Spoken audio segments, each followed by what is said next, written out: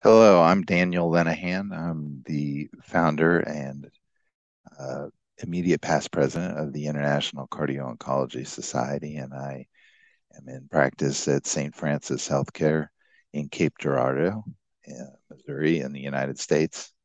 And I was asked to give a, a comment about a major scientific statement that was published in circulation in 2022 about cardio oncology drug interactions, a scientific statement from the American Heart Association. Uh, this is a very important update uh, and review be- because as we have found in the in the cardio oncology space over the last 10 to 20 years that the complexity of the medications has risen so dramatically that it's very difficult to kind of keep this in mind and this uh, scientific statement was done by uh, a very distinguished list of uh, experts, uh, not only uh, cardiologists, but medical oncologists, as well as pharmacists uh, that have scoured the literature to look for different types of drug to drug interactions that may occur and how this impacts clinical care. Uh, this is a, a, very authoritative document that has really an excellent uh, figure one, or I guess it's the only figure that is a mecha- mechanistic overview, and that provides a lot of insight for those of us who are trying to understand how these things, how these uh, interactions may occur in, a, in patient care. And then, of course, table one of this statement uh, is really a definitive overview of many of the specific uh, research studies or uh, papers that have highlighted these major events. So uh, I won't go into great detail for all of the parts of the of the uh, statement, but I would say that this is this is a very important document to to encourage people to understand about drug drug drug interactions and also how to uh, modify the therapy that you're that you're giving uh, from a cardio oncology perspective that may allow patients to continue on their best uh, best course of cancer therapy. So the the figure figure and table are really excellent resources and I will sort of summarize some of the important findings. So then uh, table one highlights the pharmacologic interactions that occur with different therapies that are that are used uh, in the contemporary treatment of cancer. So one of the first major categories is hypertension. So there are a number of new cancer therapies that are potentially very effective for the treatment of cancer that are known to be associated with hypertension. And this is not the usual hypertension that you may have encountered in your uh, practice, where it uh, gradually uh, may develop into a significant problem. The, uh, the hypertension that is typically induced by cancer therapy may be much more rapid onset and much more severe than uh, you know the essential hypertension that may occur in your average practice. So the entire category of medications known as anti-VEGF or anti-vascular endothelial growth factor or anti-angiogenic based therapy. Virtually every drug in that class uh, is known to be associated with hypertension. So there will be a higher incidence of hypertension, and each drug may have uh, a differing magnitude of how it will affect the blood pressure, but almost as a class effect, it will cause significant hypertension. The question is, is how severe? And then additional medications that are used commonly that would be known to be associated with hypertension. hypertension includes ibrutinib, which is a Bruton, Bruton tyrosine kinase inhibitor. And that is a very important treatment for certain types of hematologic malignancies.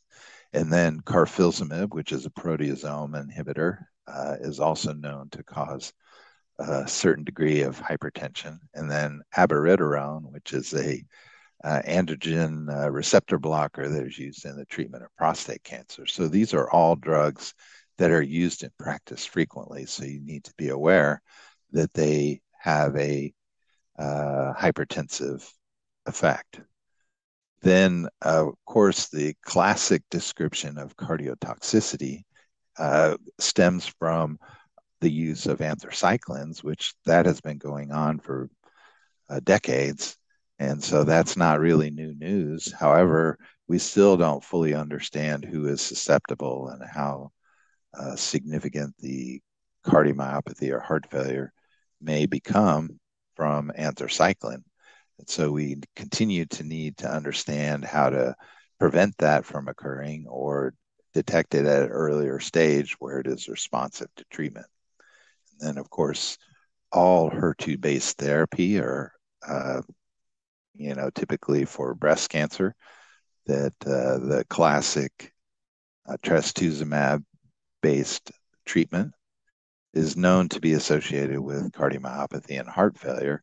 Initially, it was uh, quite high, uh, but then over the years, with uh, definitive research studies and finding ways of early detection and protection, the incidence of significant heart failure or cardiomyopathy related to HER2 based therapies is much lower than it was initially. However, it is still a consideration and uh, certainly needs to be thought of. And then one of the uh, more recent complicating factors from a cardiomyopathy point of view is the possible uh, connection to immune checkpoint inhibitors and the the rates of myocarditis. Now, what we have found is that checkpoint inhibitors are known to augment our immune system to fight off cancer, and they've been very effective in that uh, in that arena. However, if your immune system is activated and it uh, causes uh, an inflammatory response in a different tissue, then uh, that could could be a detrimental thing. And what we found is that in the case of myocarditis, that this could potentially be very serious and uh, be life threatening. So it's a, of great concern. Thankfully, it doesn't happen that often, but but recognizing it is is a crucial element. And then the entire concept of prothrombotic or uh, thrombosis generating uh, drug drug interactions is is uh, super complex, but also very important in terms of management of patients with cancer.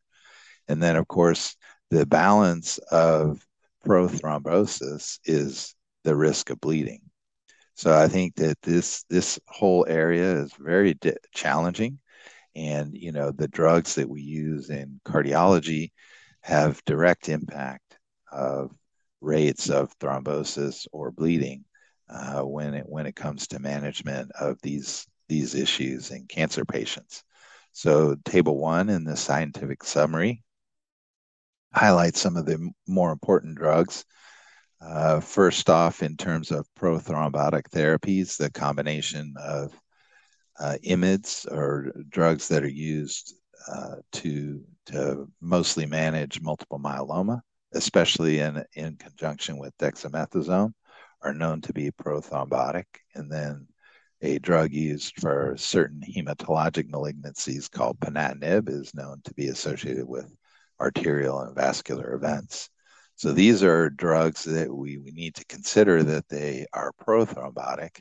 And then, of course, the antithesis to that is that certain drugs may make uh, make uh, bleeding more of a significant risk for a patient. And probably the the most uh, prominent of those drugs at this point is the BTK inhibitor ibrutinib, which is known to have a increased bleeding complication. The real challenge is, is that uh, that particular medication is associated with atrial fibrillation, which, as you all know, would be a drug that we would consider using anticoagulation. So you have a drug that is more likely to promote bleeding, and then you have a reason to treat with anticoagulation. So the, the risk of bleeding could be substantially uh, increased.